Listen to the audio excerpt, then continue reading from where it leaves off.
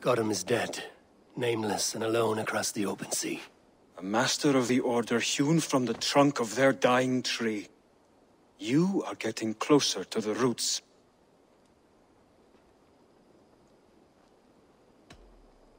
Hytham, I have the Codex pages you asked for. Six in total. Ah, wonderful. We have so little writing from the original Hidden Ones. This will grow our understanding immeasurably. These documents may have been inked by the founders of the Hidden Ones, in fact. But their names are unknown to us. Lost to history. A deliberate choice on their part, I think. I'm hoping these documents shed some light on that mystery. I could not say. They're written in a language I do not understand. You know, the black market merchant Reda has an old piece of writing from the same era as the Codex pages you found. Speak with him if you are curious to see it.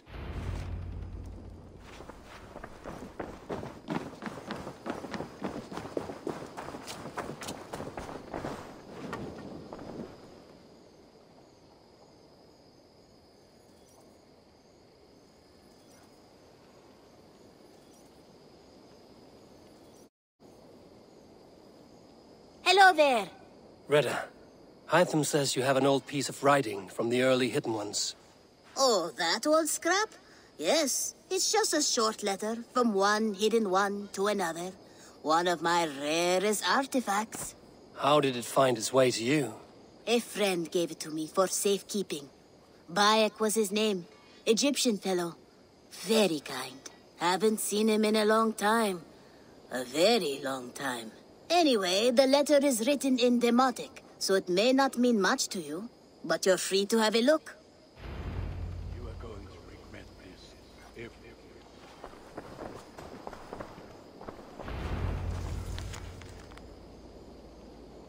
A warning, my beloved.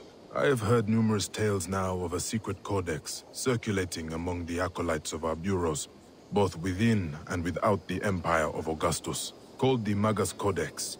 It names you directly as one of the founders of the Hidden Ones. Apart from putting your life in danger, it flies in the face of what we have tried to achieve with our Brotherhood. We are justice seekers who shun the light of praise for our good works, and who must live in the shadows of our triumphs.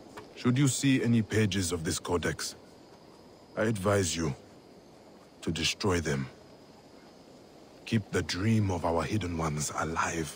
Now, I am not so naive to think this will be a simple task. Few men and women are suited to keeping such secrets for so long. And it may be that we will fail in the end, but we will have failed in the name of righteousness. Take care, my love. My Iset. My northern star. Even in my waning years, I am ever your Osiris. Let our Horus live on beyond us.